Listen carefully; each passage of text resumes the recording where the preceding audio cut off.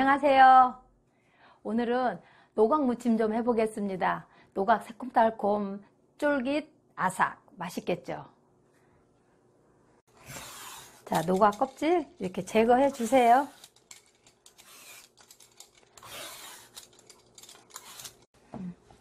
다음에 이제 노각을 가운데 이렇게 갈라주세요.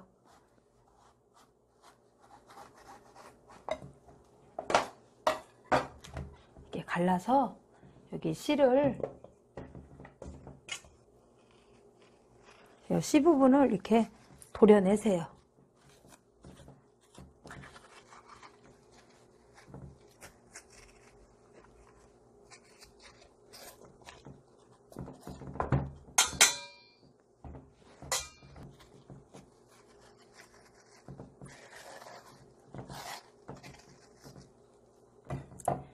이게 속을 긁어냈으면 이렇게 엎어놓고 반달식으로 얇게 썰어주면 돼요.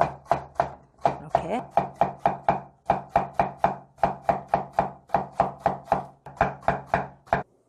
자, 천일염 한 수저.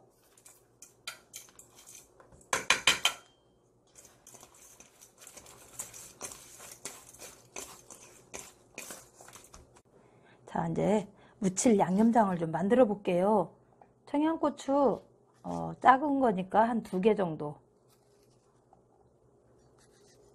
해서 쫑쫑 다져주세요.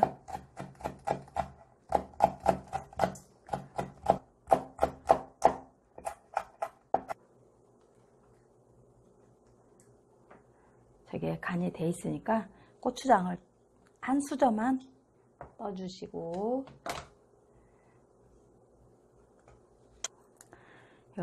자일로스 설탕 두티 고춧가루 한 수저.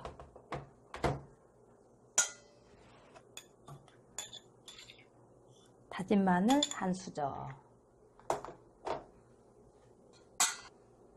청양고추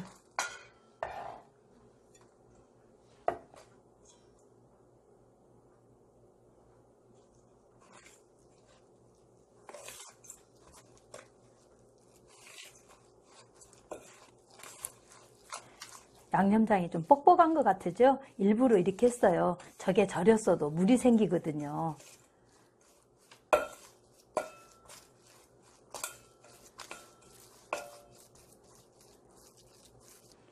자, 절이기 시작해서 15분 됐어요. 이렇게 물 많이 생겼죠? 요러면 이제 꼭 짜주세요.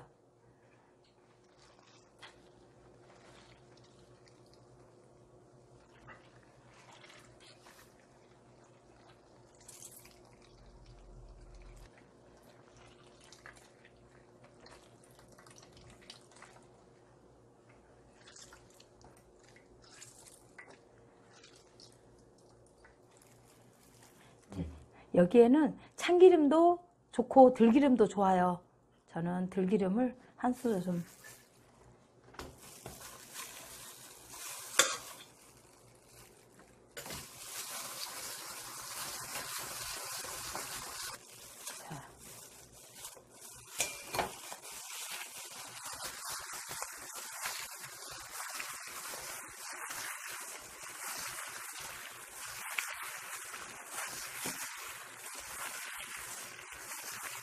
여기에 여기에 다진 파 좀 한 수저 정도 넣어주세요.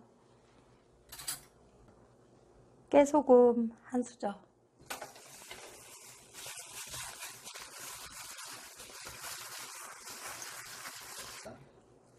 자, 이게 일반 설탕 같으면 당도가 좀 올라올 텐데 자일로스다 보니 당도가 조금 부족하네요.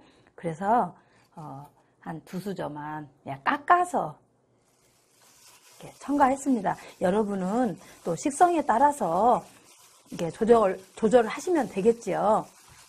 양념이 뻑뻑하고 그랬는데도 이걸 꼭 짰는데도 이렇게 좀 질펀하네요. 노각무침 간단하고 참 쉽죠? 한번 만나게 해보세요. 오늘 영상도 잘 봐주셔서 감사합니다.